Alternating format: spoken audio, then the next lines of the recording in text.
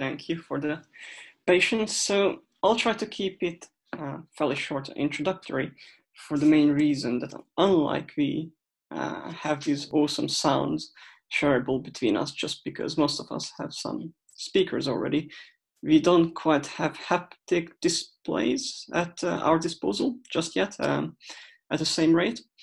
So instead, what I was thinking, as this is my uh, first uh, sort of uh, joining in the meeting, I'll just explain a little bit who I am and what I work with and leave uh, maybe a few more minutes for questions so we can talk about uh, potentially how this haptification could be used with uh, sonification. Right. Okay, so as I was saying, I'm from the University of Sussex, and this is where I've done um, my physics research or physics undergraduate, and uh, later on I decided I'm just more interested in um, science communication and especially how we can use touch to communicate science. So I decided to start a PhD.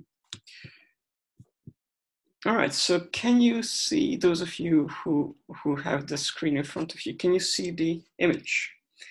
Just a very iconic graphics I'm usually using. So to give a quick description, what people are seeing is two hands and they are sort of copying a illustration of an atom. But what I would like to point out that the atom or the illustration of the atom is kind of hovering in midair, just above the hand.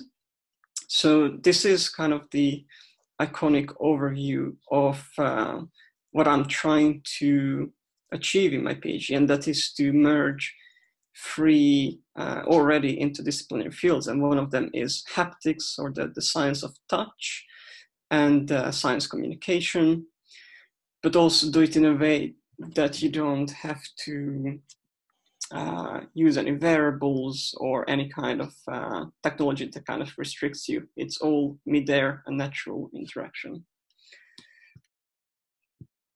All right, so just a little bit about myself. I'm coming from Hungary. I was born in Hungary, but I've been living uh, abroad for many, many years, and especially the last seven years, I've been living in England, where I've done my physics, theoretical physics undergraduate and master's. But as I said previously, I got more interested in how we can actually communicate the science to people.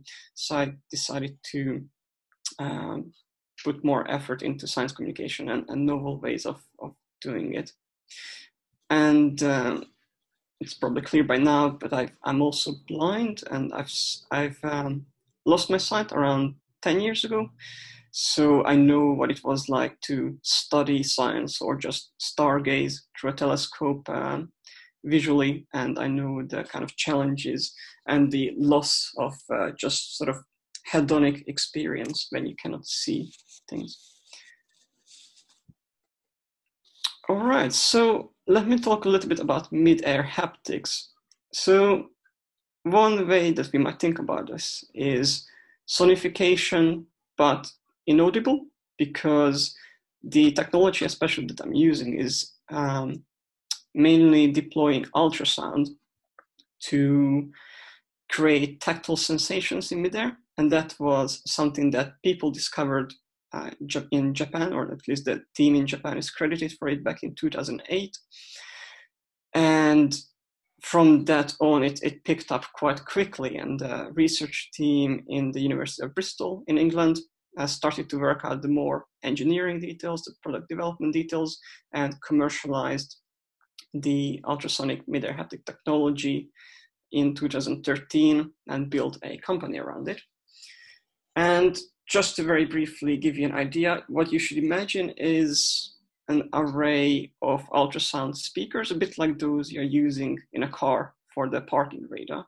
They all emit uh, 40 kilohertz ultrasound, but the phased array is modulating this um, sound just because we wouldn't be able to feel a very high frequency vibration on our, on our skin. The tactile um, acuity of, of the human skin goes between kind of zero and 500 hertz frequency. So we have to modulate the ultrasound. But not only that, um, we also have to focus all these sound waves into, into one focal point to give a high enough sound pressure that can cause an indentation on the skin. So we can get back to this with a few questions if you would like to know more about it. Okay, oh, sorry. Right, so why this is potentially good for science communication. So in one of my studies, we asked um, a group of science communicators to use the technology, try a few concepts that we programmed, like a, a cell nucleus, particle collision, a few other things, quantum, quantum phenomenon, and ask them, why do you think this is better than some of the other technologies you've been using before? Things like sonification or 3D printing or virtual reality. And one of the key things that people picked up is that A, it's tactile, which makes sense, but also that it's uh, dynamic, it's programmable. So unlike with a spring where you want to illustrate an oscillatory movement in touch, as soon as you touch it, it basically, uh, you disturb the movement.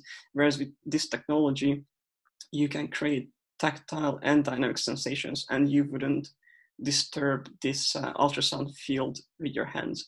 So that was kind of the big, biggest um, thing for people.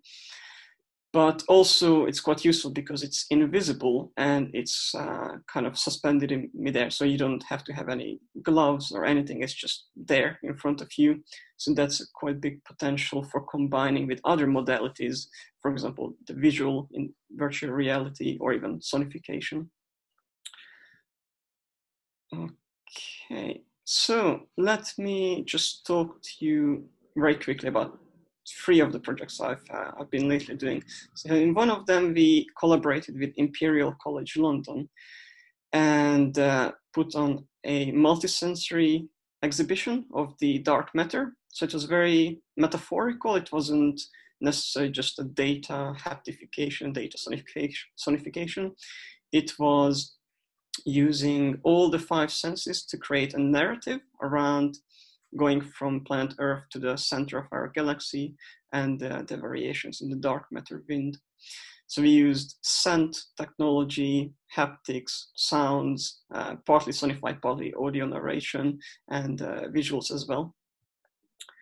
So later I might ask Kate to, to share this uh, file with you. or I can, I can try to put it on Google, but there's a video uh, for you uh, to have a look. There's more details about the project. Okay, so as, uh, as with the Dark Matter experience, that was more for the general public, exhibited multiple times in the London Science Museum. But we have done also other projects in the US, in Los Angeles, with the Aquarium of the Pacific, and they especially asked um, the company who's funding the PhD and producing this technology to try to make um, their movie experiences about oceanography, renewable energy more immersive and more accessible for sensory impaired people. So in this project, we mainly focused on what you can see on the screen. So let me just um, quickly wrap on the, up on this.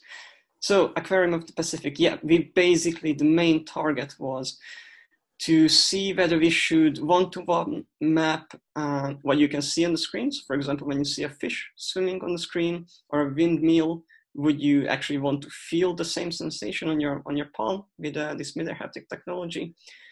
or is it better to again be a bit more metaphorical and uh, you know and the, the narrative talks about um, strong winds then you actually feel strong winds. You go you go more like a, a haptic narration. Um, yeah and some of the feedback was really good and it was a commercial project uh, even though it was kind of science communication. So I, as far as i know there is some um, second projects coming up on that. Okay some of the other one which is more closely related to what I'm doing is, so I'm going to hopefully present a, a my demo in uh, EuroHaptics, which is the European Conference for Haptics in, in uh, September. And what we have been doing is actually similar to what we heard today about the first uh, project. I think it was Sophie, if I remember correctly the name uh, about shapes. So the whole idea was how we can um, haptify shapes, just circles, triangles, circle, um, squares, and what's the best method of rendering that you perceive it um, with the highest accuracy. And whilst we did that, we, we did the actual user study, we did um, achieve like a 30% increase in just by different methods of rendering shapes, um, which fortunately I cannot show you now through the sense of touch. But again, there is a, a video which illustrates uh, for you to have a look at later. But not only that, we kind of worked out a way to render shapes in a more perceivable way. We also realized that once we created a video which has uh, closed captions and it has uh, the sort of visual animations and it has the narration to explain what's happening, what people can see. We also realized that because it's a quite simple concept um, that we are trying to explain, just geometric shapes, and we wouldn't necessarily be able to overlay an audio description on top of the narration or it wouldn't work very easily. But what we could do is include a closed captioning. So basically what you would see on the screen is what you could feel as well. It's a bit like the opposite of what we've done in the aquarium of the Pacific. Okay. Yes, and I think I'll just uh, quickly conclude there because we are a bit over time anyway. Uh, but yeah, so all I'm trying to say is that I, I really believe that touch has potential in, in science communication, that it'll be more of the formal or informal learning environments. And uh, from the presentations, what I heard today, I, I can imagine combining sound and touch would be quite awesome in, in lots of different scenarios. But with that, I would like to thank you for now. And of course, feel free to ask me now or, or later as well. Thank you.